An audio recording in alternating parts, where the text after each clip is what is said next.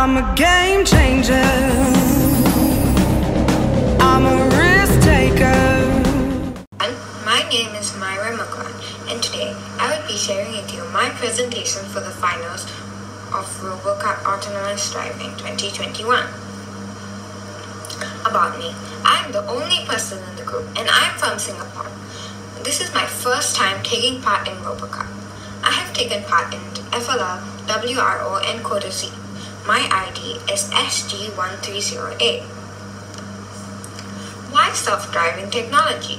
Self-driving technology has the potential to radi- radically transform our transport system and improve our living environment.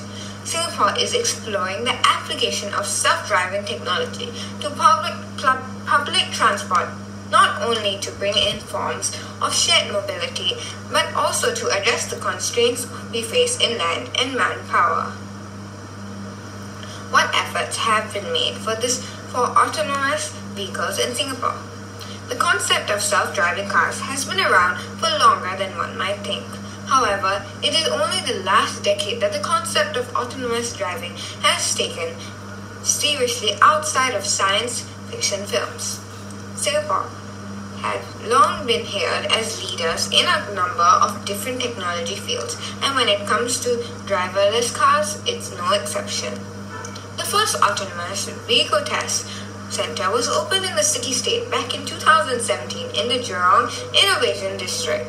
Spread across two hectares, hectares, the center was built to support the Center of Excellence for Testing and Research of Autonomous Vehicles. Of established international stand, standards for autonomous vehicles meant establishing this center in Singapore placed the country in a position to spearhead the testing and development of these emerging technologies. Summary of Preliminary Challenge I participated in Autonomous Driving U12 category. The problems I investigated. For me, the robot was not turning nor was it sensing any color I solved these problems. I did debugging and looking at the practice methods like Maze, Future City, and Secret Garden, and the PowerPoint slides. The result, it worked. The method, I used line tracking and I also used trial and error. Flowchart for line tracking. If R1 senses the black line, you move forward, but if it doesn't, you go on to R1. If R1 senses the black line, you move forward.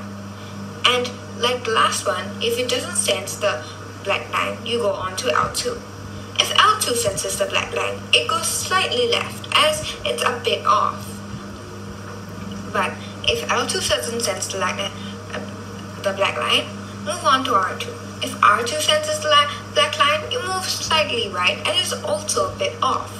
But if L3 senses the black line, it should have a sharp left if it's because it's completely off. If R3 senses the black line, like R, like L3, it also does a sharp right. Trial and error. Not correct first. If it's not correct, you debug and try again till it's correct. AI algorithm. The computer had to go through uh, the progress of guess and check before doing the action. And the, the computer also had to translate the code we had written into the computer code. The tools that we had, we had the PowerPoint slides and the newsletters.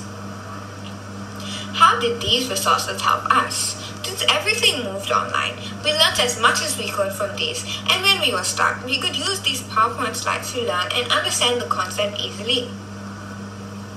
The challenge mission, preliminary game, objective. To get to the finish line, passing the maximum number of checkpoints in the shortest amount of time the mini checkpoints. The first one. So as you can see, as this from the starting line, once you sense the red marker, you you still go straight as it might turn.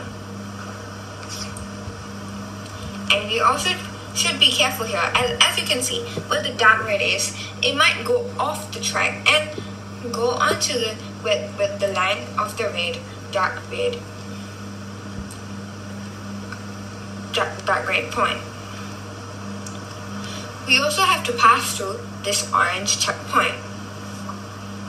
and we have to turn right at the dark blue, or we should all take the longer route.